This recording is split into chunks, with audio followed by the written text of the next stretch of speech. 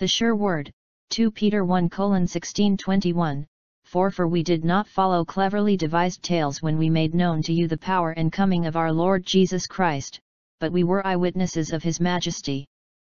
For when he received honor and glory from God the Father, such an utterance as this was made to him by the majestic glory, This is my beloved Son with whom I am well pleased and we ourselves heard this utterance made from heaven when we were with him on the holy mountain.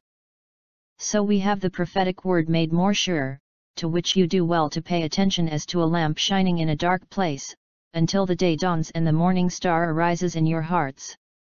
But know this first of all, that no prophecy of Scripture is a matter of one's own interpretation, for no prophecy was ever made by an act of human will, but men moved by the Holy Spirit spoke from God. 1 1621 Through the centuries the Bible has had many formidable critics and detractors. Attacks on its veracity arguably reached a watershed during the time of the Enlightenment. Hayden v. White articulated the climate of that era as follows, the Enlightenment attitude of mind was complex and internally varied, but it can be characterized roughly as a dedication of human reason, science, and education as the best means of building a stable society for free men on earth. This meant that the Enlightenment was inherently suspicious of religion, hostile to tradition, and resentful of any authority based on custom or faith alone. Ultimately the Enlightenment was nothing if not secular in its orientation, it offered the first program in the history of mankind for the construction of a human community out of natural materials alone. Editor's Introduction, in Robert Anchor, The Enlightenment Tradition New York, Harper and Row, 1967, 9, cited in Norman L. Geisler and William E. Nix, A General Introduction to the Bible, Revised and Expanded Chicago, Moody, 1968, 1986, 139, through their writings and the promotion of their secular ideas, philosophers such as Thomas Hobbes, 1588-1679, Materialism, Benedict de Spinoza, 1632-1677, Rationalistic Pantheism and Naturalism, David Hume, 1711-1776, Skepticism and Anti-Supernaturalism, Immanuel Kant, 1724-1804, Philosophical Agnosticism, Friedrich Schleiermacher, 1768-1834, Romanticism and Positive Theology, and George W. F. Hegel, 1770-1831, Philosophical Idealism and the Dialectical Process Thesis, Antithesis, and Synthesis, did much to undermine and destroy confidence in the infallibility of Scripture and a biblical understanding of the nature of truth. Those Enlightenment philosophies also paved the way for theological liberalism, Albrecht Ritschl, 1822-1899, Adolf von Harnack, 1851-1930, present-day existentialism and postmodern relativism, Soren Kierkegaard, 1813-1855, Friedrich W. Nietzsche, 1844-1900, Rudolf Bultmann, 1884-1976, Martin Heidegger, 1889-1976, and Higher Criticism, F. C. Baur, 1792-1860, Julius Wellhausen, 1844-1918. However, conservative, orthodox, evangelical scholars such as Francis Turretin, 1623-1687, Jonathan Edwards, 1703-1758, Charles Hodge, 1797-1878, Benjamin B. Warfield, 1851-1921, and J. Gresham Machen, 1881-1937, tirelessly and consistently defended Scripture's sufficiency and trustworthiness. Those men and other God-honoring teachers firmly supported the Reformation's view of the supremacy of God's Word, which is summarized by Bush and Nettles, the Reformers believed Scripture to be God's Word written. It was trusted, not doubted. It was studied, not ignored. It was taken as the final authority with regard to those matters on which it spoke or made affirmations. God had not revealed everything. The Bible did not expressly contain all the truth that could be known. But what the Bible did teach was believed to be completely trustworthy. Truth in any other area would not contradict biblical truth. Starting from Scripture, one could find the true knowledge of reality. L. Russ Bush and Tom J. Nettles, Baptists in the Bible Chicago, Moody, 1980, 175, what the Apostle Peter wrote in 2 Peter 1 1621 is foundational to the Reformers' understanding of Scripture and clearly declares that in the Bible believers have an accurate, written revelation of God's truth. Peter echoed the psalmist's declaration, the testimony of the Lord is sure, making wise the simple, P.S. 19 7b, cf. 93 5, 111 7. God, through the prophet Isaiah, said this about both the reliability and impact of his word, for as the rain and snow come down from heaven, and do not return there without watering the earth and making it bear and sprout, and furnishing seed to the sower and bread to the eater, so will my word be which goes forth from my mouth, it will not return to me empty, without accomplishing what I desire, and without succeeding in the matter for which I sent it. ISA 55 10 11, cf. 40 8, ps. 119 89, Matt. 518, 2435, John 1035b, 2 Tim. 2 19a, in his second epistle, Peter wrote to believers barraged by false teaching that sought to undermine their trust in Scripture and thus destroy the Christian faith. In chapter 2 he would describe in vivid terms the proponents of such errors so his readers could understand and better recognize the danger they posed. But it is not enough merely to be aware of false teachers, believers need to know how to defend against their errors. The weapon in that defense is God's sure word, cf. 2 Cor. 10 35. In the present passage, the Apostle references both his own eyewitness experience of revelation and God's supernatural, written revelation. Peter's eyewitness experience for we did not follow cleverly devised tales when we made known to you the power and coming of our Lord Jesus Christ, but we were eyewitnesses of his majesty. For when he received honor and glory from God the Father, such an utterance as this was made to him by the majestic glory, This is my beloved Son with whom I am well pleased and we ourselves heard this utterance made from heaven when we were with him on the holy mountain.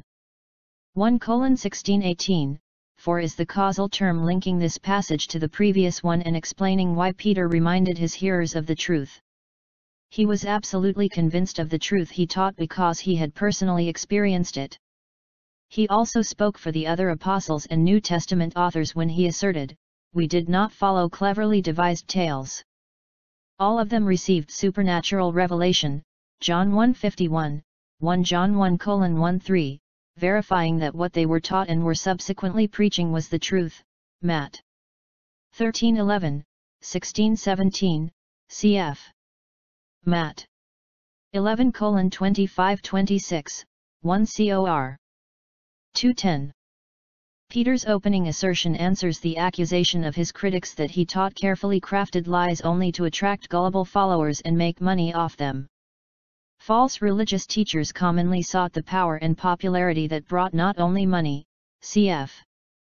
Mike 3.11, but also sexual favors, cf. J. 23.14. However, Peter refuted his accusers by saying he and his fellow apostles did not follow the deceptive approach of false teachers. Cleverly devised stems from sophis, to make wise, and connotes sophisticated, subtly concocted ideas. The expression also refers to anything clandestine or deceitful. Seeking to devour the sheep, the false teachers would disguise their lies, cf. 2 1, to make them appear as divine truth, j. 614, 1414, 2316, 21, 26, cf. Matt. 715. Tales, mythos, from which the English myths derives, refers to legendary stories of gods and heroic figures participating in miraculous events and performing extraordinary feats. Those tales characterized pagan mythology and its worldview Paul used mythos, which always has a negative connotation in the New Testament, much as Peter did, to refer to the lies, fabrications, and deceptions of all false teachers, 1 Tim. 1 colon 4, 4 colon 7, 2 Tim. 4 colon 4, Titus 1.14. Peter flatly denied that he was drawing upon such fictitious stories when he made known his teaching. Undoubtedly, false teachers had told his readers that Christian faith and doctrine was just another set of myths and fables. Made known, riz, is often used in the New Testament to speak of imparting new revelation, John 17:26, Rom. 16:26, f. 1 colon 9, 3 colon 3, 5, 10, cf. Luke 2.15, John 15.15, 15, Acts 2.28, Rom. 9 colon 22 23, 2 cor. 8 colon 1, col. 127, 4 colon 7, 9.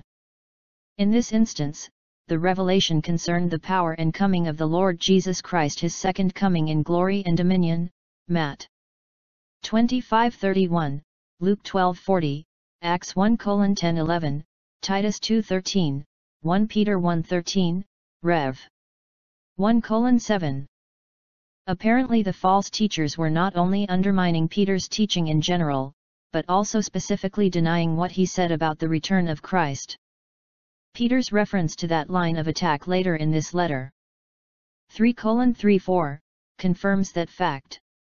Because Peter connected the phrase power and coming with the appearance of the Lord Jesus Christ, it is a sure indicator that he referred to his return, cf. Matt. 24 colon 30, 25 31, Rev.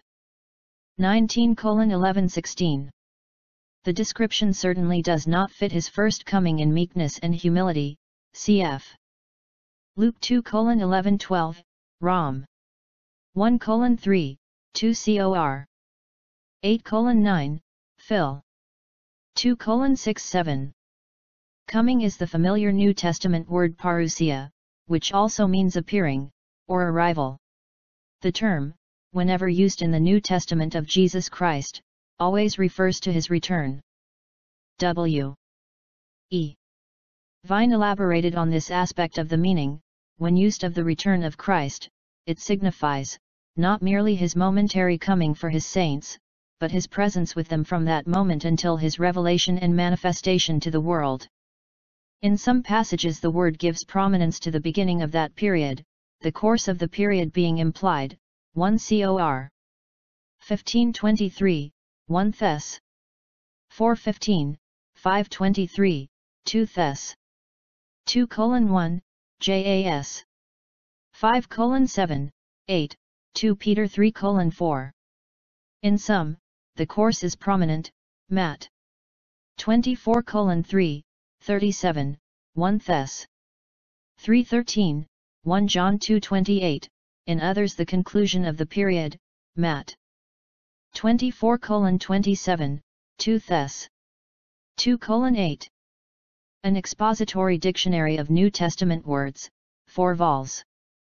London, Oliphants, 1940, reprint, Chicago, Moody, 1985, 1 209. In his first letter, Peter had declared the truth of Christ's second coming, 1 Peter 1 colon 7, 13, 413, 5 colon 4. But here he stresses that he and the other apostles were eyewitnesses of the very majesty Christ will fully display when he returns. Certainly all the apostles had seen Christ's majesty in his life and ministry, John 2:11, 17 6:8, and in his death, John 19 25 30 resurrection, Luke 24:33 43, and ascension, Acts 1 9 11, so that those who were New Testament writers, e.g., Matthew, John, Peter, were eyewitnesses to much of what they wrote.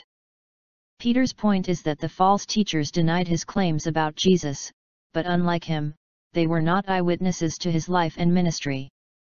Eyewitnesses, epoptai, originally meant general observers or spectators, but over the years its meaning evolved. Barclay explains, in the Greek usage of Peter's day this was a technical word. We have already spoken about the mystery religions. These mystery religions were all of the nature of passion plays, in which the story of a God who lived, suffered, died, and rose again, never to die again, was played out. It was only after a long course of instruction and preparation that the worshipper was finally allowed to be present at the Passion play, and to be offered the experience of becoming one with the dying and rising God. When he reached the stage of being allowed to attend the actual Passion play, he was an initiate, and the technical word to describe him was in fact epops, he was a prepared and privileged eyewitness of the experiences of God.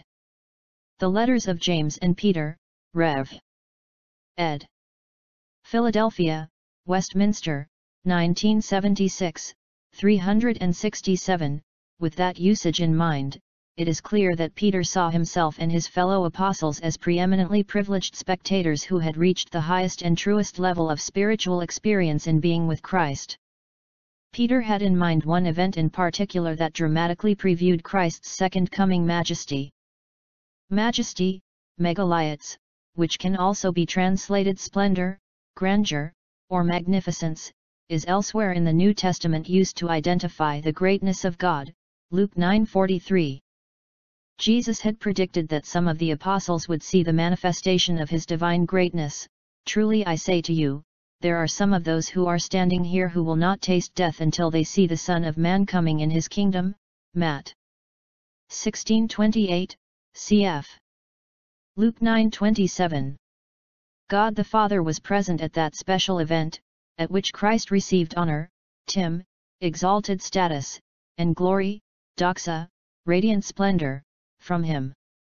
The first term gives Jesus the highest respect and recognition, John 5:23, 1 Tim. 1:17, Hebrew. 2:9, Rev. 4:9, 11, 5:12 13, and the second accords divine, unparalleled brightness to him, Matt. 24 30, Luke 9:32, cf. John 1:14, 17:22, 2 Thess. 1 9. At that extraordinary event God the Father, also called the majestic glory, a beautiful substitute name for God, cf. Deuterium 33 26, LXX, gave an extremely significant utterance, audible announcement, to Christ. The Father's utterance was This is my beloved Son with whom I am well pleased, which could refer to one of two different occasions the Lord's baptism or his transfiguration, Matt. 317, 17 5. The Apostles' further description of the episode precisely identifies it as the Transfiguration since the utterance was made from heaven when we were with him on the holy mountain. The mountain was most likely Mount Hermon, the highest mountain near Caesarea Philippi, cf. Mark 8:27, where Peter, James, and John saw the cloud of divine glory surround them and Jesus and heard the voice of God, Matt. 17:5, Mark 9:7, Luke 9:35. The announcement This is my beloved Son with whom I am well pleased is the Father's affirmation that the Son is both of identical nature and essence with him, cf. John 5 17 20, Rom. 1 14, Gal. 1 3, Col. 1 3, 2 9, and that he is perfectly righteous, cf. 2 Cor. 521, Hebrew. 726. Thus in one concise statement God declared a relationship of both divine nature and divine love with Christ the perfect bond of love and holiness within the Godhead and his complete satisfaction with everything Jesus said and did. By clear implication, the Father's pronouncement also confirmed Christ's right to come again, at the ordained time, and receive his own and possess the kingdom that is rightfully his. As Revelation 5 9 says, And they sang a new song, saying, Worthy are you to take the book and to break its seals, for you were slain, and purchased for God with your blood men from every tribe and tongue and people and nation. You have made them to be a kingdom and priests to our God, and they will reign upon the earth. Then I looked, and I heard the voice of many angels around the throne and the living creatures and the elders, and the number of them was myriads of myriads, and thousands of thousands, saying with a loud voice, Worthy is the Lamb that was slain to receive power and riches and wisdom and might and honor and glory and blessing. And every created thing which is in heaven and on the earth and under the earth and on the sea, and all things in them, I heard saying, To him who sits on the throne, and to the Lamb, be blessing, and honor and glory and dominion forever and ever. For a complete commentary on the Transfiguration and Matthew 17 113, see John MacArthur. Matthew 16:23, MacArthur New Testament Commentary Chicago, Moody, 1988, 6172. There is no reason for Peter's audience then or now to believe false teachers who deny the glorious future return of Jesus Christ. Whereas those heretics were not present on the Mount of Transfiguration, Peter was an eyewitness to Second Coming Majesty. He, James, and John saw Moses and Elijah affirm Christ, Luke 9 30 32, and above all, the apostles heard God himself honor his Son. God's supernatural revelation so we have the prophetic word made more sure, to which you do well to pay attention as to a lamp shining in a dark place, until the day dawns and the morning star arises in your hearts. But know this first of all, that no prophecy of Scripture is a matter of one's own interpretation, for no prophecy was ever made by an act of human will, but men moved by the Holy Spirit spoke from God. 1 1921, as accurate as they were, in declaring the truth God did not merely depend on the oral, eyewitness accounts of the apostles.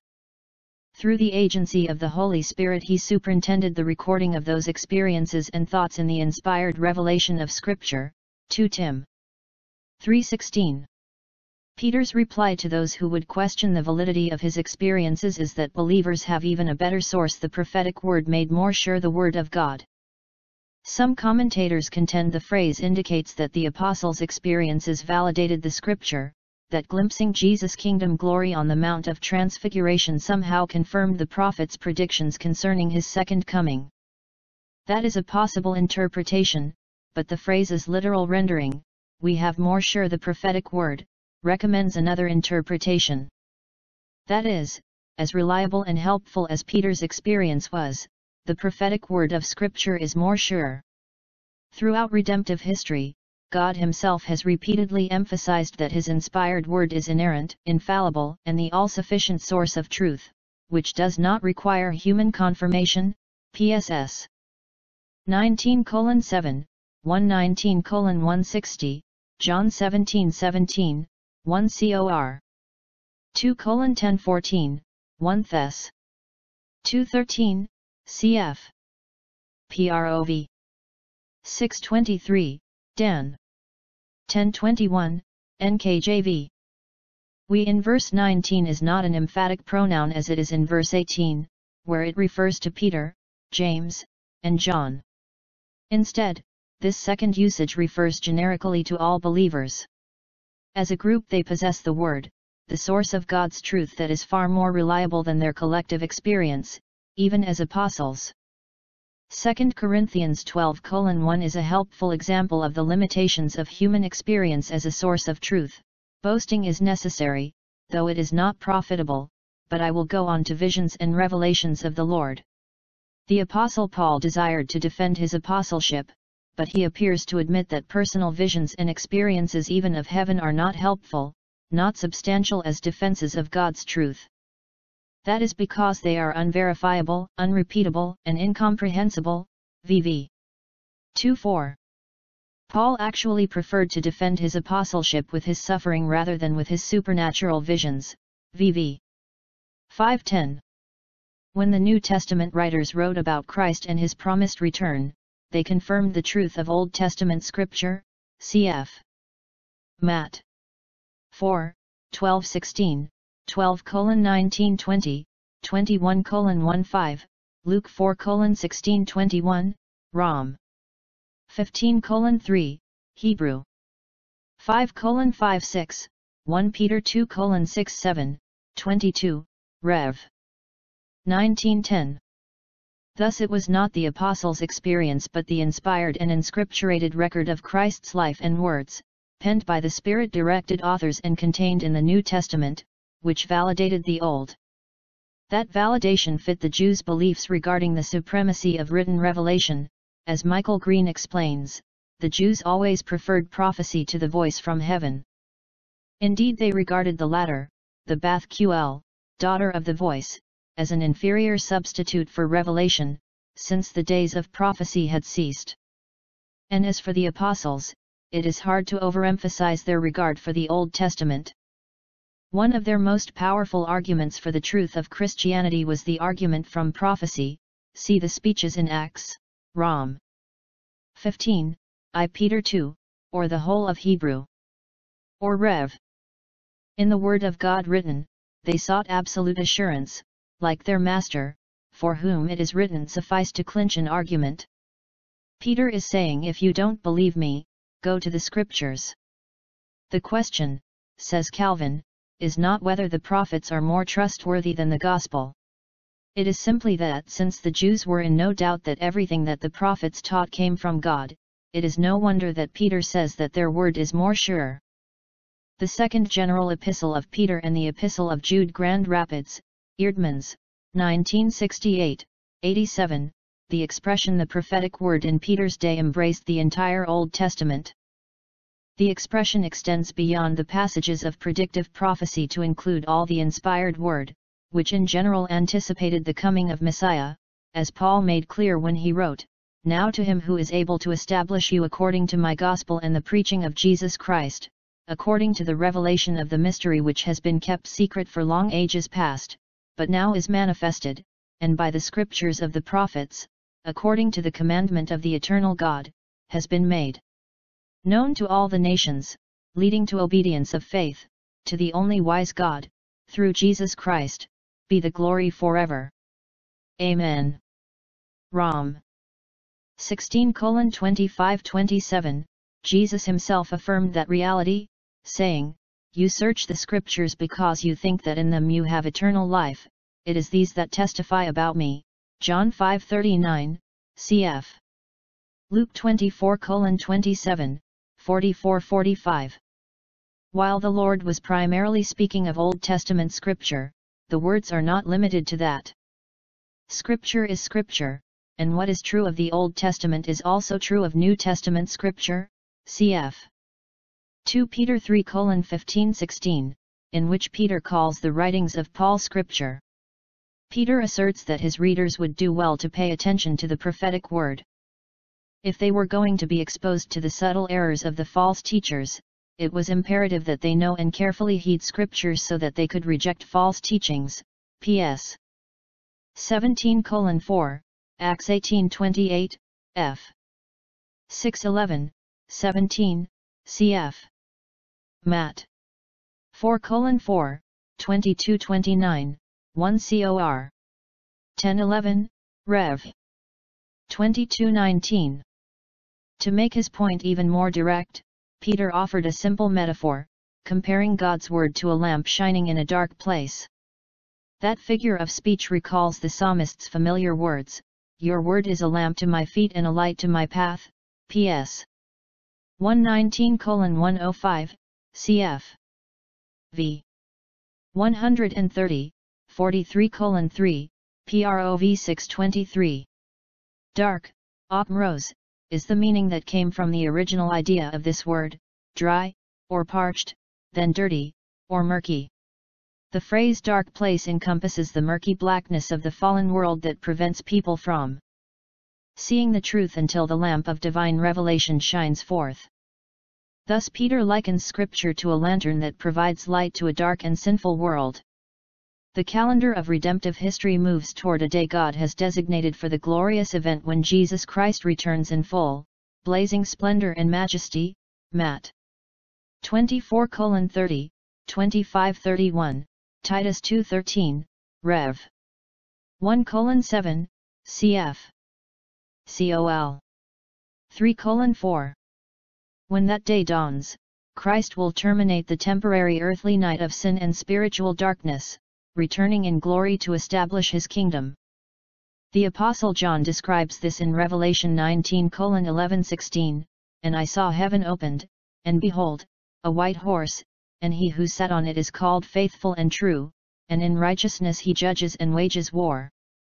His eyes are a flame of fire, and on his head are many diadems, and he has a name written on him which no one knows except himself. He is clothed with a robe dipped in blood, and his name is called the Word of God. And the armies which are in heaven, clothed in fine linen, white and clean, were following him on white horses. From his mouth comes a sharp sword, so that with it he may strike down the nations, and he will rule them with a rod of iron, and he treads the winepress of the fierce wrath of God, the Almighty. And on his robe and on his thigh he has a name written, King of Kings and Lord of Lords. The bittersweet event marks the climax of God's salvation purpose and his judgment on the wicked, cf. ISA. 212, 13 6, Zeph 114, 1 COR. 1 colon 8, 313, 4 colon 5, Eph. 430, 1 Thess 313, 2 Thess 1 colon 7, 2 Tim 4 colon 1, 1 Peter 212. Morning star, Phosphoros, which literally means light bringer, was the name for the planet Venus, which precedes the morning sun in the sky, and is used here for Christ, whose coming inaugurates the promised millennial kingdom and the establishment of his kingdom. Scripture in several places refers to Christ as a star, number 24 17, Rev. 228, 2216, cf. Matt. 2 2. Peter adds the fact that the star arises in believers' hearts. Christ will return in a blaze of physically visible, all-encompassing light that will affect everyone for blessing or cursing and change the millennial earth, 3 1013, eventually destroying the universe and replacing it with the new heavens and new earth, Rev. 2011, 21 1. The reference to the hearts indicates his return will also transform believers into perfect reflections of the truth and righteousness of Christ and make them into the image of his glory, Rom. 829, Phil. 3 2021, 1 John 3 1 2. At his second coming, Christ will replace the perfect temporal revelation of Scripture with the perfect eternal revelation of his person. He will fulfill the written word and write it forever on the hearts of the glorified saints. From considering the end of Scripture, when it completely rules the perfected heart, Peter went back to the start of Scripture its divine inspiration. As Paul wrote, all scripture is inspired by God, 2 Tim 3.16, therefore, no prophecy of scripture is a matter of one's own interpretation. The phrase is a matter of translates ginetai, which more precisely means comes into being, originates, or arises. No portion of the holy writings, Old Testament or New, came into existence in the manner all false prophecies did, cf. J. 1414, 2332, Ezek. 13 2. For example, the prophet Jeremiah explained how God viewed the false prophets of his time. Thus says the Lord of hosts, Do not listen to the words of the prophets who are prophesying to you. They are leading you into futility, they speak a vision of their own imagination, not from the mouth of the Lord. They keep saying to those who despise me, The Lord has said, you will have peace, and as for everyone who walks in the stubbornness of his own heart, they say, calamity will not come upon you. But who has stood in the counsel of the Lord, that he should see and hear his word? Who has given heed to his word and listened? Behold, the storm of the Lord has gone forth in wrath, even a whirling tempest, it will swirl down on the head of the wicked. The anger of the Lord will not turn back until he has performed and carried out the purposes of his heart, in the last days you will clearly understand it. I did not send these prophets, but they ran. I did not speak to them, but they prophesied. But if they had stood in my counsel, then they would have announced my words to my people, and would have turned them back from their evil way and from the evil of their deeds. Am I a God who is near, declares the Lord, and not a God far off? Can a man hide himself in hiding places so I do not see him, declares the Lord. Do I not fill the heavens and the earth, declares the Lord. I have heard what the prophets have said who prophesy falsely in my name, saying, I had a dream, I had a dream. J. 23 1625, cf. Ezek. 13 3, false prophets spoke of their own things, from their own ideas, but no true message from God ever arose from a human interpretation. Interpretation, epilysis, is an unfortunate translation because in English it indicates how one understands scripture, whereas the Greek noun is a genitive, indicating source. Thus Peter is not referring to the explanation of the scripture, but to its origin. The next statement in verse 21, For no prophecy was ever made by an act of human will, but, alla, just the opposite, quite the contrary, men moved by the Holy Spirit spoke from God, further supports the point of source.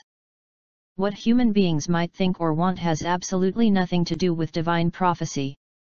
See John MacArthur, 1 Peter, MacArthur New Testament Commentary Chicago, Moody, 2004, 5157. Moved, pheromenoi, is a present passive participle that means continually carried, or borne along. Luke twice used this verb, Acts 27 15, 17, to describe how the wind blows a sailing ship across the waters. For Peter, it was as if the writers of Scripture raised their spiritual sails and allowed the Spirit to fill them with His powerful breath of revelation as they penned its divine words, cf. Luke 1 70. When Jeremiah said, The word of the Lord came to me saying, J. 1 4, he spoke for all the Old Testament writers and, by extension, all the New Testament writers who followed them. The only one who knows the mind of God is the Spirit of God, 1 Cor. 2 10 13, cf. John 15 26, Rom. 8 27, 11 34, cf. John 3 8, so only he could have inspired the scripture. If believers are going to stand against the errors of false teachers, they must seek to know, accept, and obey the totality of scripture, even as the Apostle Paul did in testifying before the Roman governor Felix, but this I admit to you, that according to the way which they the Jews call a sect I do serve the God of our fathers, believing everything that is in accordance with the law and that is written in the prophets, Acts 24 14, emphasis added.